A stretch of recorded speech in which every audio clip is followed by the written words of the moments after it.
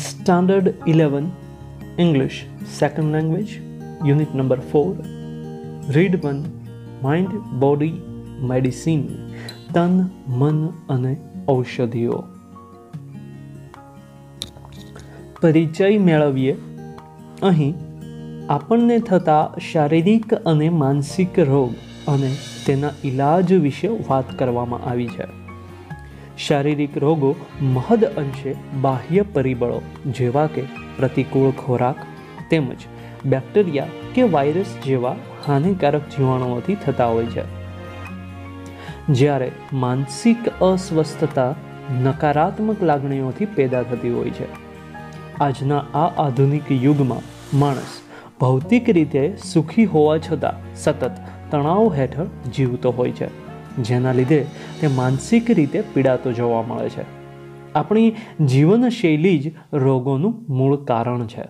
આપણે જીવનમાં કુદરતી સ્ત્રોત જેવા કે સારો ખોરાક, પાણી, હવા અને સુખી કૌટુંબિક જીવન સાચવ્યા જ નથી, જેને કારણે જીવનમાંથી શાંતિ અને સુખ હણાઈ ચૂક્યા છે અને રોગોનું પ્રભુત્વ વધ્યું છે. આપણને એકાદ ગોળી લઈને એવું માનવા લાગીએ છીએ કે રોગ આપણાથી દૂર થઈ ગયો છે. પરંતુ તેનાથી શારીરિક અસંતુલન પેદા થાય છે અને સ્વાસ્થ્ય જોખમાય છે.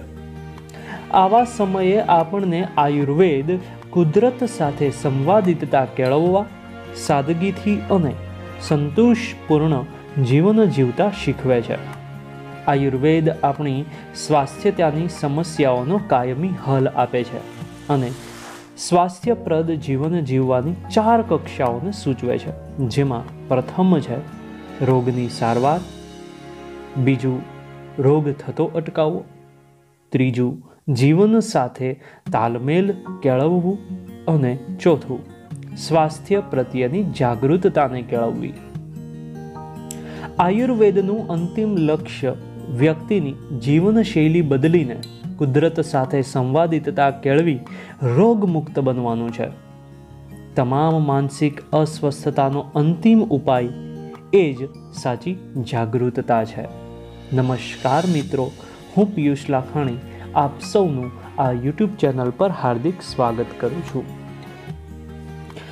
માઇન્ડ, મન, બોડી, તન, મેડિસિન, ઔષધિઓ સ્વાસ્થ્ય જીવન જીવવામાં આ ત્રણ વસ્તુ સૌથી અગત્યનો ભાગ ભજવતી હોય છે. શારીરિક શરીર તંદુરસ્ત હોવું જોઈએ. એની સાથે સાથે આપણું માનસિક સ્વાસ્થ્ય જળવાયેલું હોવું જોઈએ અને એ બંનેને સ્વસ્થ કરવામાં મદદ કરતી હોય છે કેટલીક ઔષધિઓ. તો દોસ્તો, અહીં ત્રણ વસ્તુઓનો આપણે અભ્યાસ કરીશું. તન, મન અને ઔષધિઓ. શરૂ કરીએ. If we look at different people if જો વી આપણે લુક એટની તરફ જોવું ડિફરન્ટ પીપલ જુદા જુદા લોકો ઇન ધી વર્લ્ડ આ વિશ્વમાં અરાઉન્ડ અસ આપણી આસપાસ. આપણી આસપાસની દુનિયામાં જુદા જુદા લોકો તરફ જો આપણે જોવા જઈએ તો વી ઓબ્ઝર્વડ ધેટ આપણને જાણવા મળશે કે ઓલ ઓફ અસ આપણે બધા જ આર નોટ નથી. ઓલ અલાઇક એક સરખા. તો આપણી આસપાસની દુનિયામાં જુદા જુદા લોકો, આપણે જો જોવા જઈશું તો આપણને ખબર પડશે કે આપણે બધા જ એક સરખા નથી. ઈચ વન ઓફ અસ આપણામાંથી દર એક વ્યક્તિ ઇઝ ડિફરન્ટ જુદું હોય છે ઇન મેની વેઝ ઘણી બધી રીતે. બોથ બંને. ફિઝિકલી શારીરિક રીતે એન્ડ મેન્ટલી અને માનસિક રીતે. તો દર એક વ્યક્તિને જેને આપણે આપણી કમ્પેરિઝન અન્ય વ્યક્તિ સાથે કરીએ, તો આપણે જોવા જઈશું કે એ વ્યક્તિ શારીરિક રીતે આપણાથી જુદો છે. જેમ કે દેખાવમાં જુદું હોવું તેમની હાઇટ જુદી હોવી વેઇટ જુદું હોવું, એની સાથે સાથે મેન્ટલી માનસિક રીતે પણ જુદો હોય છે. આપણે જે વિચારસરણી ધરાવીએ છીએ, એવી જ એક્ઝેક્ટ સેમ વિચારસરણી સામેવાળી વ્યક્તિ ધરાવતી હોય, એવું જરૂરી નથી હોતું. તો આપણામાંના દરેક શારીરિક અને માનસિક ઘણી બધી રીતે જુદા એ વ્યક્તિઓ જોવા મળે છે. વી આર ટુ અન્ડરસ્ટેન્ડ આપણે સમજવું જ પડશે. અવર ઓવન નેચર આપણો પોતાનો nature and the nature of others અને બીજાનો સ્વભાવ. ફોર અવર ઓવન હેપીનેસ આપણી પોતાની ખુશીઓ માટે એન્ડ વેલબિંગ ઇન લાઈફ અને જીવનમાં તંદુરસ્ત બનવા માટે.